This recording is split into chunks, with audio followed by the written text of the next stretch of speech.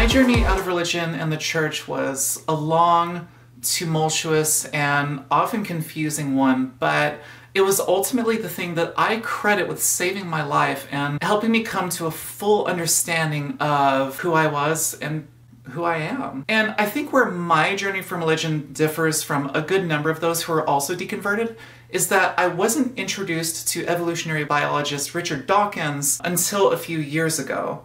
My deconversion began by listening to YouTubers and outspoken voices in the community like Matt Dillahunty, Seth Andrews from The Thinking Atheist. Dear God, that voice. It is beautiful. uh, Suris the Skeptic, Viced Rhino, Mr. Atheist, etc. They helped to kickstart the avalanche of realizations to my own childhood indoctrination and gave me the tools I needed to break out of the religious mindset and learn the difference between actual healthy human feelings and emotions and the things that the church used to control me and so many others. But when I was at last introduced to Richard Dawkins, boy, did he leave an impact in many, many ways. Dawkins' primary claim to fame was his popularization of the idea that the gene is the primary driving force behind evolution. But he also gained notoriety by being a firebrand within the atheist community, and one of the people who, along with Christopher Hitchens, helped to kickstart the modern atheist movements and bring a new awareness, especially to younger people, about how religion is used to manipulate,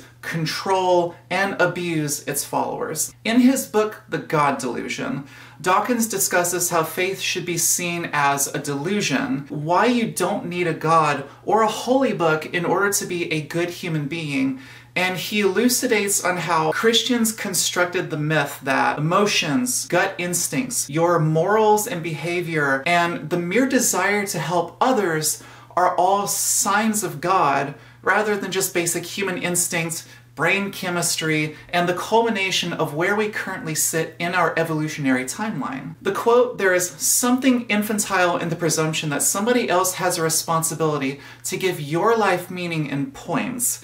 Uh, the truly adult view, by contrast, is that our life is as meaningful, as full, and as wonderful as we choose to make it. And it really exemplifies how Christians have become infantilized and unable to function as their own independent beings, uh, sources of motivation and belief, and so on. They've been taught to fall in line, not question anything, and conform, which sounds a bit authoritarian, doesn't it? Dawkins was a staunch advocate for rational thinking and the refusal to take anything at face value, and he certainly gained quite a bit of my respect and admiration early on. I appreciated his perfect balance between sassiness and classiness, his often gentle manner, and his ability to hold his own against even more of the ardent believers. And for a time, I naively sought to avoid any criticism of him and his words, believing that any minor slip-ups could be forgiven after all the work he'd done for newly freed heathens such as myself. But the more you learn about someone, the chances of finding something problematic become almost inevitable. As valued as Dawkins and his work are by myself and so many others in the atheist community, he suffers from a bit of foot and mouth disease, which isn't entirely surprising given he's from an older generation whose ideals don't really comfortably mesh with modern sensibilities. During an interview with Bill Maher, who himself is no stranger to controversy, Dawkins followed up on previous comments about Islam needing a feminist revolution by saying, to hell with their culture, while criticizing liberals who defended Islam. If we talk about them at all or criticize at all, it's somehow hurting or humiliating Muslims. He argued it's a ridiculous idea. He'd also said in the past that all the world's Muslims have fewer Nobel Prizes than Trinity College and Cambridge. They did great things in the Middle Ages though, as though to downplay and belittle their role in modern society. And are you a woman bored with life in the UK? Start a new life in our caliphate as a slave. If you change your mind, you can have a free beheading. You know, for someone of his stature, it's maybe not the best idea to flippantly say things like this with how volatile public attitudes are around the Muslim community. To sum up something I once read, to generalize is to dehumanize. Writer Gillian Branstetter said in an article for the Daily Dot that there's a thin line between combating prejudice and creating more of it. I'm inclined to agree, even though I recognize that Christianity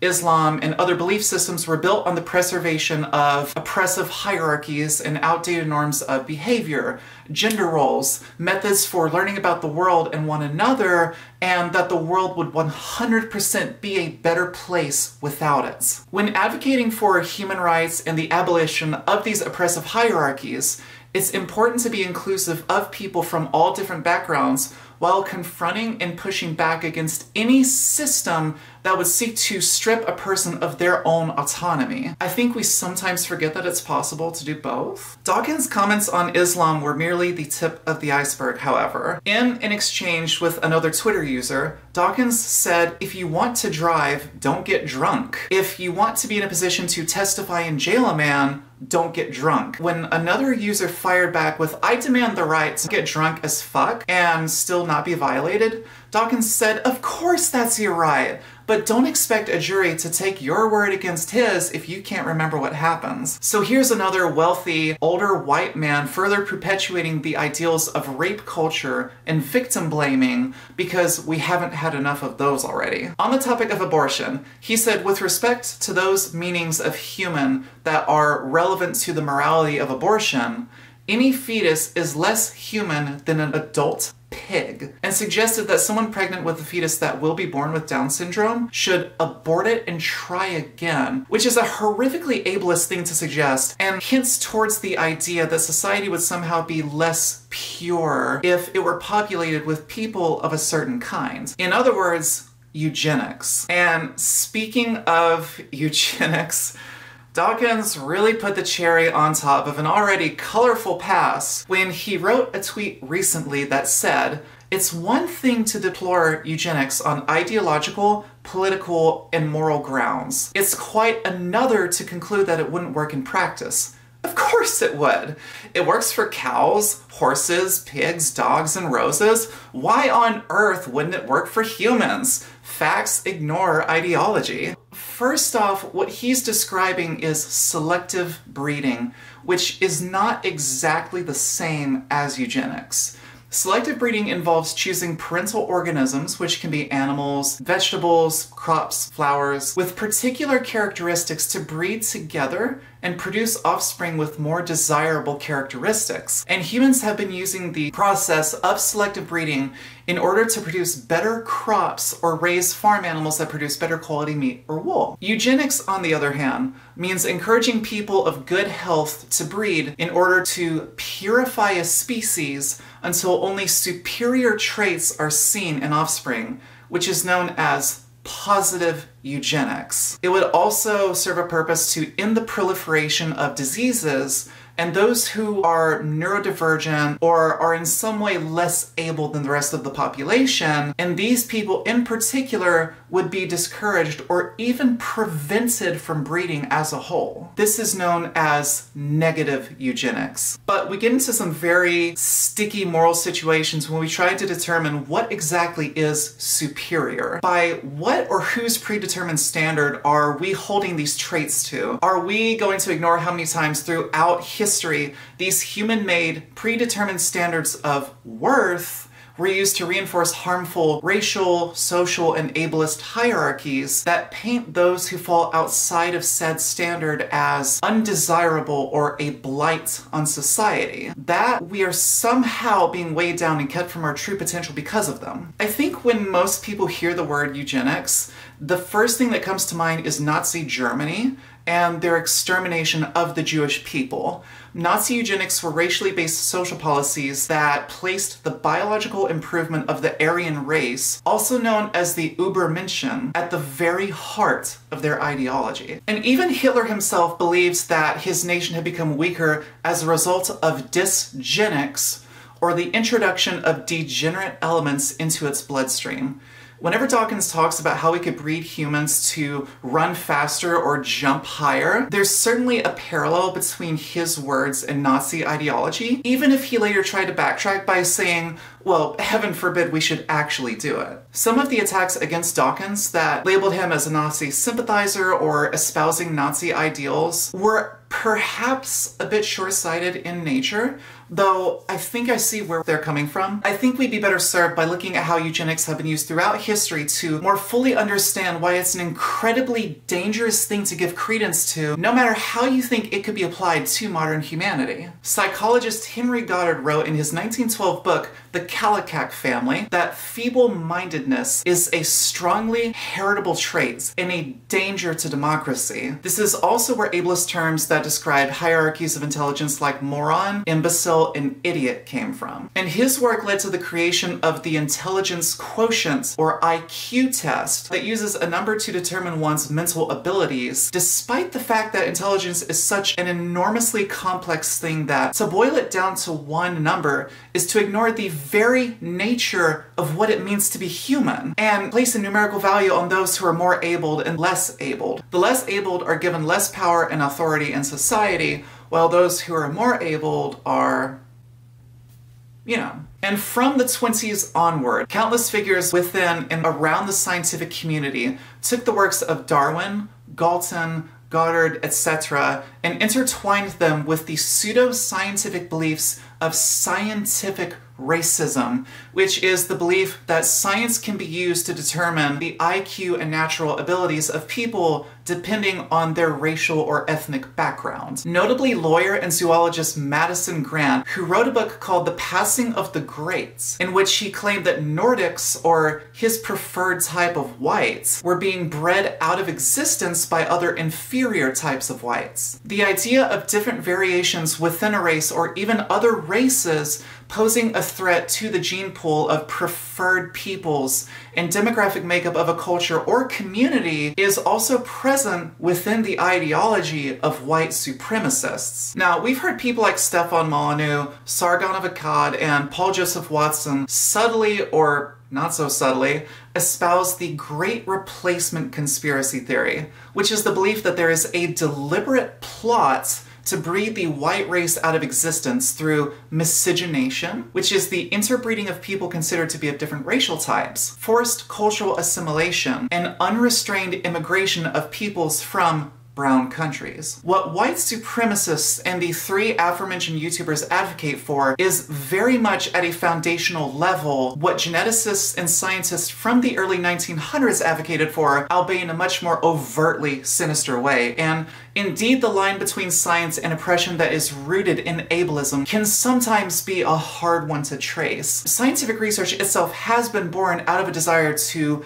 fix things that are themselves not inherently harmful. Some may feel that they're doing something virtuous by promoting ideas that unbeknownst to them are deeply harmful or have their roots in old outdated thinking, and others merely talk about these things in a bid for attention and anything that'll grab a headline or a hundred. Which brings me to the topic of idol worship or the placing of a public figure up on a pedestal and seeing them as infallible or justified in whatever they do. This obsessive devotion is very much cult-like in nature and can be seen nowadays with how people will fall over themselves to defend people ranging from Donald Trump to Ben Shapiro to Buck Angel and even Natalie Wynn, aka ContraPoints. You might be wondering what exactly the last two have to do with the rest of this video, and it's basically this. The moment you take a god, a person, or ideology and you say that it's above criticism, you begin to develop reactionary tendencies, which is when we see people engaging in whataboutism and bad faith arguments towards those who are merely bringing attention to more problematic aspects of said god, person, or ideology. You also open yourself up to what I see as a cleansing of the self, or the disillusion of your own identity and willful conformity to a cause merely because it gives you a sense of belonging, family, and purpose. For example, this is how the process of falling down the alt-right rabbit hole typically begins. But anyone can experience a sort of brainwashing of the self